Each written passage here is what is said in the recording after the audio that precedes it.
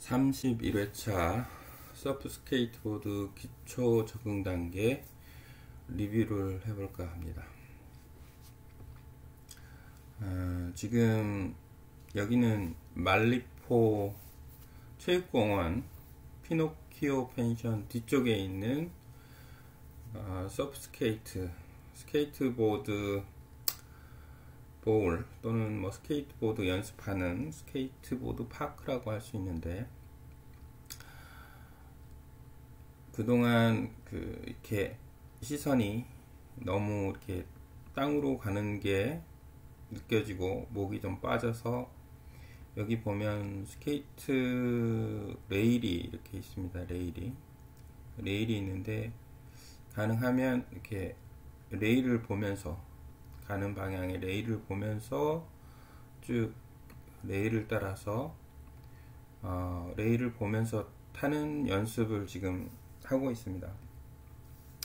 레일을 보면서 타는 연습을 하니까 일단은 이게 고개가 지금도 조금 약간 숙여져 있는데 어쨌든 고개가 조금 들리고 음, 허리도 조금 더 펴야 되는데 허리도 많이 전에 비해서는 많이 펴져 있습니다. 그래서 1번은 첫 번째 리뷰를 한다 그러면 시선 시선이 어디로 가야 된다? 일단은 앞을 봐라. 근데 앞을 보기가 쉽지가 않아요. 습관 때문에. 시선은 front 앞을 보고 어, 그 다음에 두 번째 허리를 편다. 허리 waist를 back 또는 허리를 이렇게 펴고 그 다음에 세 번째는 어, 이것도 쉽지 않은 부분인데 kneel down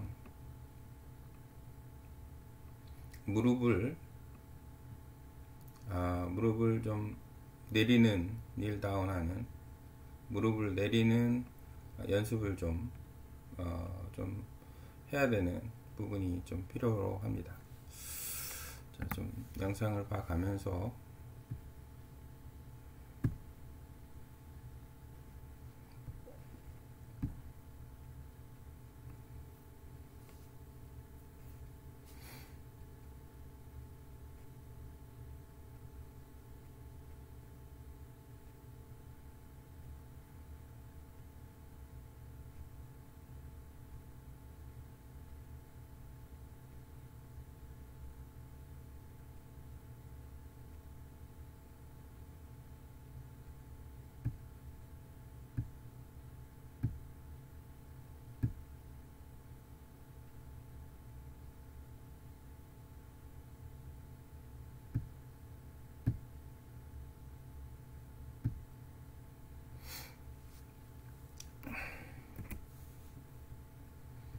지금 여기서 시선이 요 레일을 보고 있습니다. 레일을. 그러니까 가능한 한 항상 그렇게 볼 수는 없지만 요 레일을 보면은 이렇게 아, 목이 이렇게 아직도 약간 허리가 약간 좀 이렇게 굽었네요. 약간 이렇게 굽어 있는데 아직 요 허리를 조금만 더 펴면 전에 비해서는 그래서 상당히 좋아진 건데 전에는 각도가 한 30도 넘어갔는데 3, 40도 가까이 된 것 같은데 많이 숙였었는데 지금은 시선을 앞을 보고 있어서 시선을 앞을 보면 일단 이렇게 목이 이렇게 뻣뻣하게 펴집니다 목이. 목이 펴지고 근데 이제 이 무릎 무릎 부분을 조금 더 자세를 낮추면 어, 일단은 낮춘 상황에서 무게중심이 좀 낮게 되기 때문에 안전성도 높아지고 어, 그 다음에 compression and extension도 좀 할 수 있는 여건이 있고 안전, 자세가 낮기 때문에 안전성이 높아져서 이렇게 시선을 봤을 때 허리를 조금 더 필 수 있지 않을까. 지금 핵심은 두 가지 시선 처리도 중요하고 두 가지. 백 허리를 좀 펴고 그 다음에 닐다운 어, 무릎을 좀 닐 다운 낮추고. 그 연습을 이제 앞으로는 조금 더 집중해서 해야 되고 그 다음에 이쪽에서 방향을 터닝 할 때 이제 아, 더 자세를 낮춰서 바닥에 손대고 터닝하는 연습을 해볼까 합니다.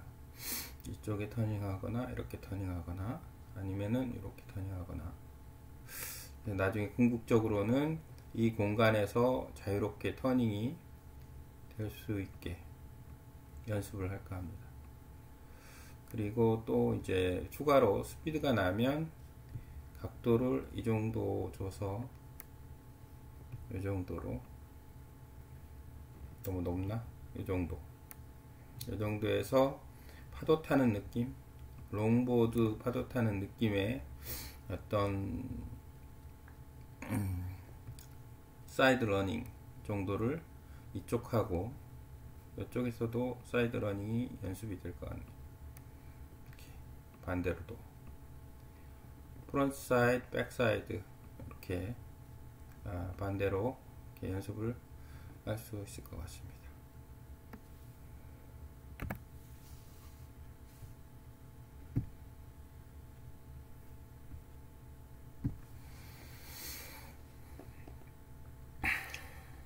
지금 무릎을 더 구부리면 저렇게 팔을 많이 안 흔들어도 되는데 컴프레션을 터닝도 자세를 낮춰서 바닥에 손을 대고 터닝을 하면 어, 훨씬 더 빠르게 돌고 안정적으로 돌 수 있지 않을까 생각이 듭니다.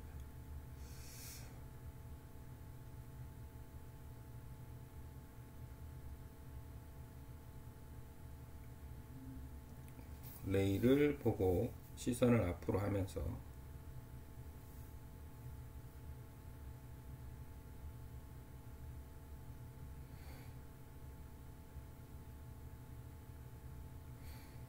무릎을 조금씩 밀어주긴 하는데 아직도 약간 약한 부분이 좀.